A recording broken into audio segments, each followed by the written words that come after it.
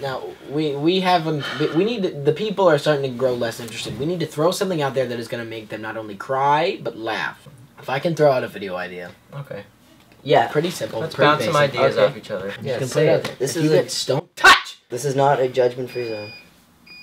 But so, okay. Me, on a swing set, rocking back and forth and back and forth, and who comes up behind me but Jeremy? And Jeremy leans in close and whispers in my ear, "Hey, coach." And I was like, "Coach?" I look at him and I say, "What do you mean, coach? I'm not your coach." Jeremy says, "Oh, you have no idea how much of a coach you've been to me my whole life. You are truly a man." Yeah, I don't get it though. Why am I your coach? And Jeremy gets down on his knees, looks at me, and I say, What are you doing? You proposing? And Jeremy says, No, I'm not proposing. I have news. What news? Jimmy, this is hard. Your wife is dead. I say, No, she, she's not dead. She's not dead. She's fine. I just I just talked to her on the phone. She's fine. And Jeremy says, No, she's dead. Jimmy, she's not dead! She's not! Look, I just talked to Kim and said she's wanting to talk to her. Jeremy says, Jimmy is over, she's dead, and I can't. And there was an accident. There was no saving her. They tried, they tried. I don't get what they tried. They took my wife from me. My, wife was my everything, and now I don't have anything. and just as we're talking, a man comes over, Zach, and Zach comes over in a very ang- very angrily and says, "I'm the man who killed your wife. How could you do this to me, to my family? You've taken my wife, you son of a bitch. Do it, you hit me." And I said, "I can't hit you. I'm sorry." And then Jeremy breaks us up and he says, "April Fools!" Can I like critique that a little? Absolutely, I don't see anything wrong with it. But The I mean, thing with that is, for at least four minutes of it, pretty sad. yeah, well, it's funny. It sad. See, but I don't- I don't that's that- the new funny. I don't think It's that's very dark. You- the punchline just comes so late in the story that it doesn't. Yeah, it doesn't really work. You should just let Jeremy say his since like Okay. Okay. So we see a boy laying in bed. The camera is over him. The boy is me. He opens his eyes and he gets up. He's wearing a spider costume because he's a superhero. Spider Boy. Spider Boy. Yeah, Spider Boy. It's like original, you know, nothing like that ever. Yes, very original. So, Spider Boy. He swings his legs over the, the bed. He stands up, pulls his pants up. He walks out to his car.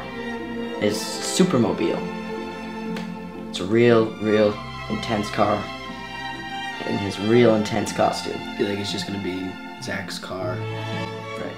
So he picks up his phone and he says, Z Man, Ooh, I'm on my way. Wait, Who's Z Man? who's playing Z-Man? You are, Jimmy. Oh, oh, right, right, right. His nickname's the Tutu. Right. Yeah. So he says, I'm on my way. Where are you? He says, I'm by the corner. He gets in his car, slides over his hood, and suddenly we're taken to the corner hmm. where Z Man is standing on the corner in his lovely costume. On top of it, or just in the general area? On the corner, you know. Doesn't answer my question. Just Great. So he's standing there, and he says, Get in. He goes to get in the car. But who comes out of the bushes, But Who? The supervillain. Spark Notes. Spark Notes. Yeah, he's a literary genius turned supervillain. Hmm. Why is he a villain? I don't know. He's terrible and evil. what And does he do? Spoil book endings? No, he doesn't. No, just he uses It's fire. Spark Notes. Right, because he's a literary genius. Uh huh. Okay, so he comes out of the bushes, grabs Z-Man and throws him to the ground, and then he comes around the car. He grabs him and he says, "You've spun your last web, boy." He strangles him, and okay, and then he cracks his neck, Oh! and Sparknotes runs away. He can't fly? No, he can just you know read real fast. Oh. And then Z Man comes over out of his agony and he says, Spider Boy, what can I do? How can I help you?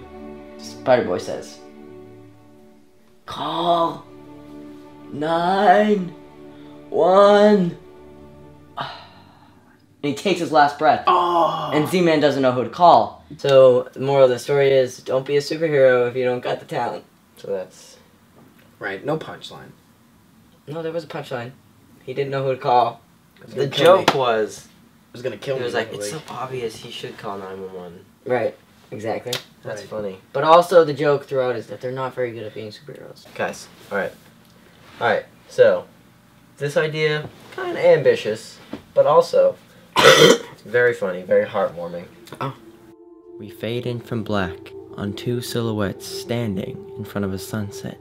Then we cut to Jeremy, bald. He looks at the sun, and then Jimmy looks up at him, covered in Jeremy's hair, and he says, Father, why? Jeremy kneels down. Never make a bet on your hair, because then you'll have a devil to pay. Oh. Get it? That's a Yeah. pretty good joke, right? Yes. I need to think of like the rest of the story, but Seems really artsy. Yeah, Yeah, I it's mean, like the vision. really good visuals. And so, like, Very Spielberg. I was Very- just about to say that. Yeah, so Reminds obviously me we of- can't do it because we can't do Spielberg. Way to go, Zach. Anyway, Black screen. White text goes across the screen. How did you undo that? Please tell me why. Dot JPEG. All in Comic Sans. Fades away. We see the great Rick Moranis, played by Zach, obviously. Mm-hmm. Now, Rick Moranis is walking in a circle very fast, really, really quickly, and then he stops and says, "Ooh!" He holds out his hand. Ooh! A bench.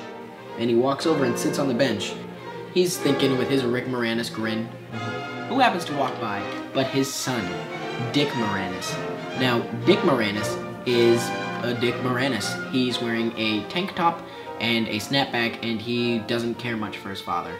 And he looks at his dad and without hesitation goes, What's up, Dick Splash? And, you know, who would say that to their dad? Rick Moranis says, How you doing, son?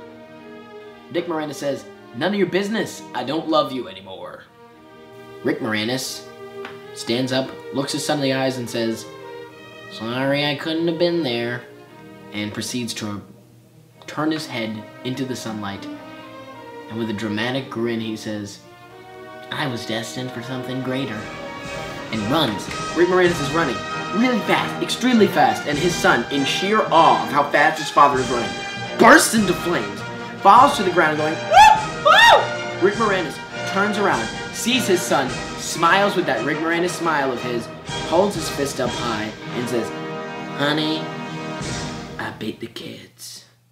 It's a high budget movie. You know, Yeah. costumes and everything. costumes, craft services. We couldn't do that.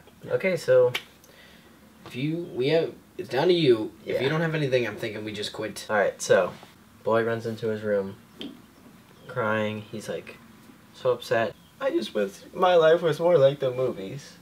And then he goes to bed because he's he's sad.